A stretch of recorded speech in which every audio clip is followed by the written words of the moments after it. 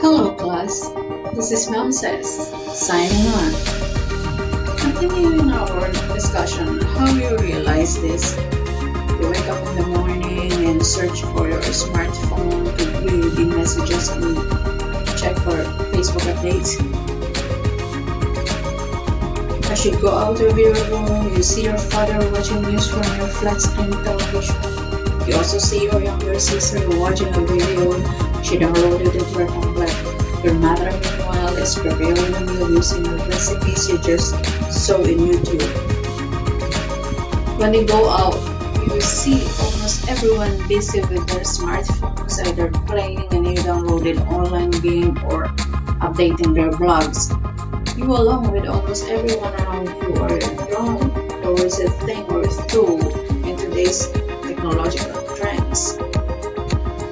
Read. For example, you need to finish your homework using your spreadsheet that you're having a hard time determining the formula to use to obtain the good result.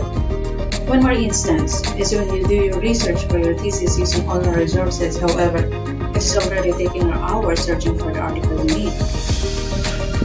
That's why this subject will assist you in learning about the current trends in ICT, basic ICT terms and descriptions that you encounter but are unaware of, and how to use common tools and applications.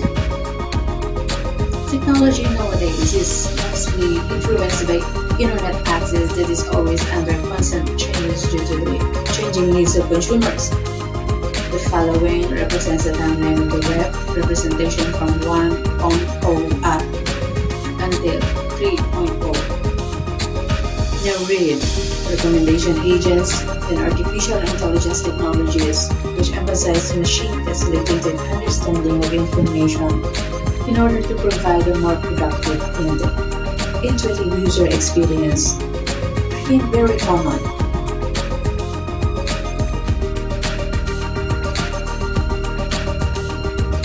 Increasingly, users have more input into the nature and scope of web content and in some cases, exert real-time control over it.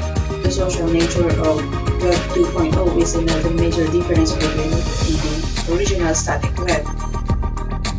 Types of social media sites and applications include forums, microblogging, social networking, bookmarking, curation, and wikis.